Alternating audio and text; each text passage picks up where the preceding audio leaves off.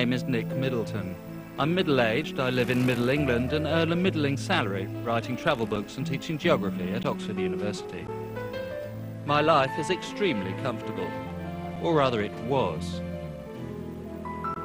It all changed when I started writing about the world's most extreme environments.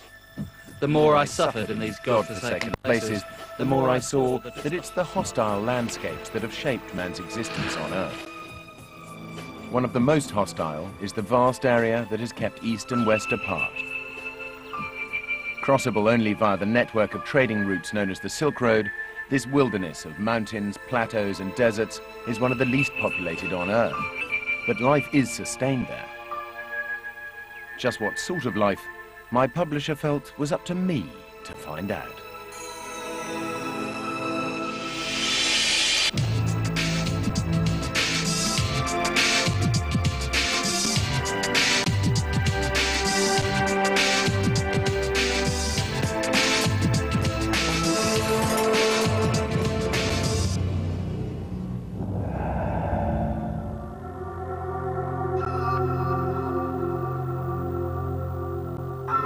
Squeezed between India and Tibet, in the southern half of the Himalayas, lies the tiny snow-capped kingdom of Nepal.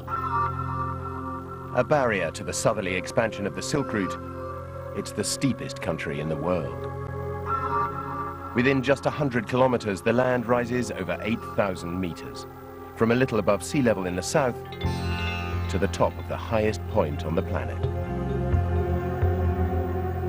It's a dizzy, giddy, vertical country where the Nepalese have had to learn to carve out a life for themselves on the sheer edge of things. The most extreme example of this is the Gurung people, who every year go to extraordinary and terrifying lengths to collect wild honey from giant bees on the sides of sheer cliffs. I planned to join them on their mid-air honey hunt. But first I would have to overcome one big problem. All my life, I have suffered from severe vertigo, feeling wobbly if I even climb a stepladder. My recurring nightmares have always been about falling.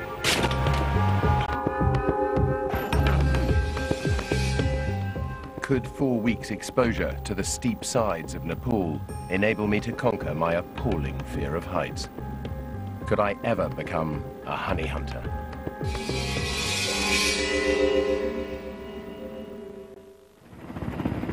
I suffered from vertigo and I'd never even touched a climbing rope. If I was going to have any chance of joining the Gurung on their cliff, I would need help. So I put myself in the hands of Dagombu Sherpa, a mountain rescue expert who was taking me to the sharp end of Nepal. These slopes that I don't like. It's not a lot to do with, uh, I mean, you can, anybody can do it easily, it's not a problem. Uh, it's just a psychological kind of thing, Well, really. yeah. It's easy for you to say. I know it's just a psychological problem, but the problem is I've got it. Thinking about you can do it, rather than I can't do it all the time, so I hope, hopefully, yeah, positive. Positive mental attitude. That's it. We touched down at Kyanjin Gompa, a small village in the Langtang region of northern Nepal. At 3,700 meters above sea level, it's the highest permanently inhabited place in the region, almost three times as high as Ben Nevis. If I'd started my journey any higher, I'd have risked getting severe altitude sickness before I'd even begun. Dagombu had arranged for me to team up with three of his climbing friends. How do you do? Lakpa. Between them, these guys had stood on the top of Everest an impressive seven times. To the we have to cross the Langtang Khola, Langtang River. They'd planned a little vertigo aversion therapy, a stiff climb up a glacier, followed by a little technical instruction in the form of an abseiling lesson. You know, this is going to be my first time on a glacier. Right, uh, that's not a problem because we know how to do with these things, all bit and pieces. Probably we might have a bit of time that we can uh, explain you how to Well, walk think- on those yeah, cliffs I and hope things we do like have a that. bit of time. Yeah. I'm a And bit also- nervous. Yeah, oh, it's not a problem. Also, we are we will be tied on to the uh, main rope, so it shouldn't be a problem. I would Good. think. I like your attitude, not a problem, all the time. Yeah. Dagombu suggested that I spend the rest of the day acclimatizing, which I took to mean take a little wander. As we were only a stone's throw from the Tibetan border, I wasn't at all surprised to find a Buddhist monastery. But I was less prepared for the Swiss influence. Back in 1955, they built a cheese factory here to take advantage of the abundant local supply of high-altitude yak's milk. Thank you very much. Tilly Lama told me that he and his two helpers produced 7,000 kilos a year, Excellent cheese. but distribution is a nightmare. They have to carry it all down to the nearest roadhead, a four-day walk away. But since so much of Nepal is too steep to build roads through, when you move anything around here, it's mainly yaks or humans.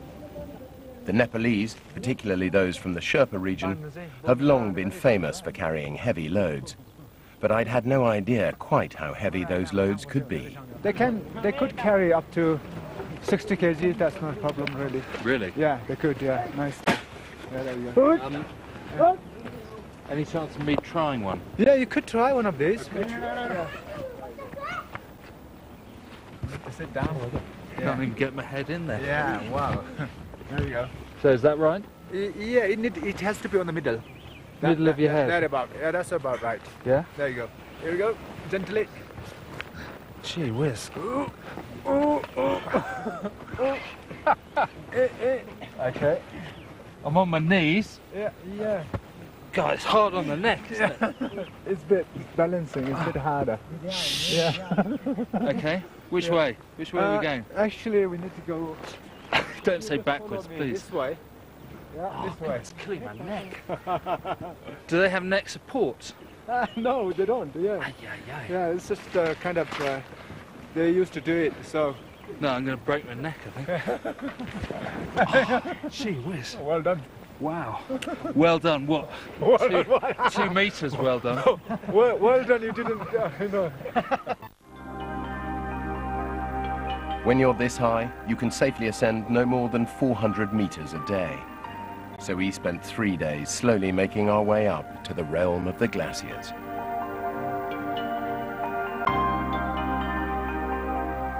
The whole of the Himalayas have been sculpted into U-shaped valleys and pyramidal peaks by these icy bulldozers.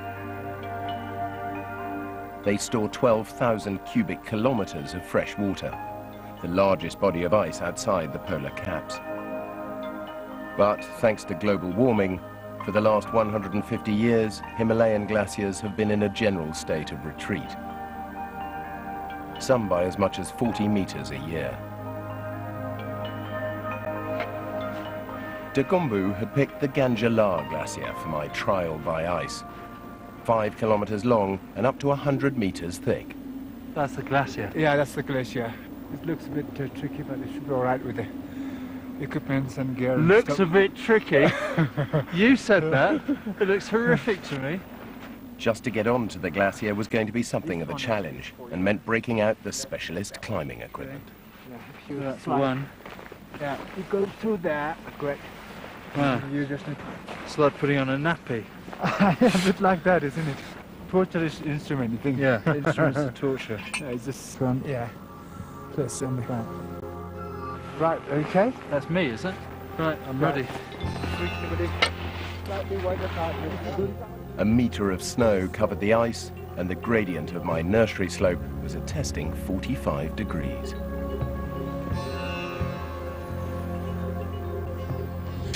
You need to put use your front point. Or, Use the front ones. or if you are not very comfortable with the front point, then you can Okay. put sidewise. All this kit and manpower was meant to make me feel more secure, but it wasn't really working. What would happen if I lost my footing and fell? You will slide a little bit, tiny bit, Yeah, but you won't be going far way down.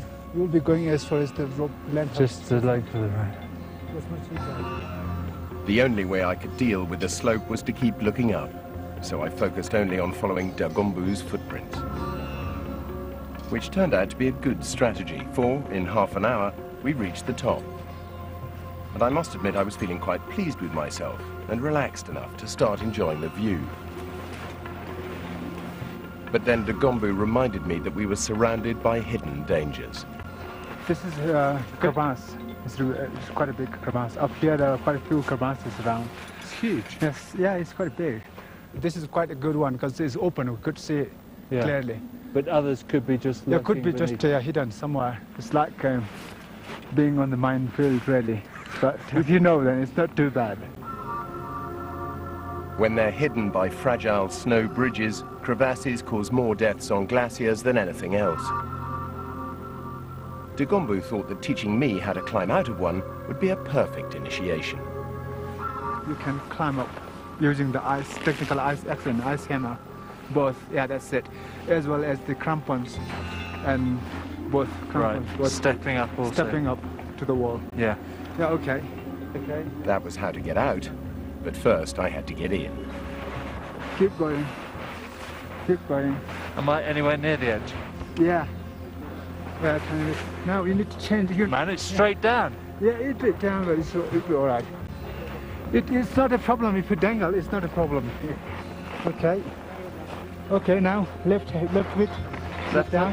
Yeah. Yeah, bit down. Yeah. Oh, oh. So, sorry about that. You didn't tell me about that bit. No, a tiny bit, yeah. Okay, now you need to pick up this one. Pick Hold up. me tight, please. Yeah. Right. I was hanging over the edge, and my arms and legs wouldn't respond. You can just uh, fit against the wall. Yeah. Uh, against the wall, fit. But I've got my. Yeah. Bit higher up, bit higher up. Flat fit, slow. Slow lower. Huh? Flat fit against the wall. Flat, Flat fit, fit. right. Like that, okay. That's better. It was as though I was having to relearn how to walk, my head having to drive my legs through the motions. Keep going. Keep going. Keep going. Oh, By the time I stumbled into the bottom, I'd all but given up.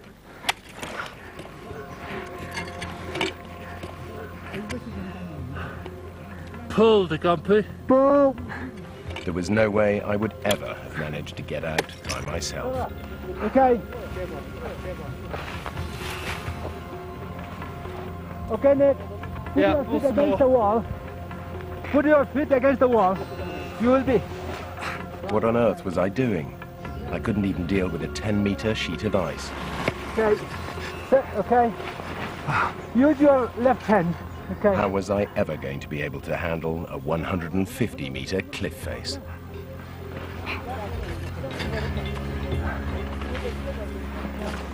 Tell man barani. Even when I was back on the flat, I didn't dare let go of the ground. Okay. Good one. Cross for that. It need to come out, isn't it? Yeah, it, the ice was not very good quality though. Oh, It was poor quality ice. Crappiest ice Yeah. I ever saw. You did well though. Oh, Dagombu was just being polite. I knew he must have been asking himself what chance this toddler had of scaling a vertical cliff surrounded by a cloud of angry bees.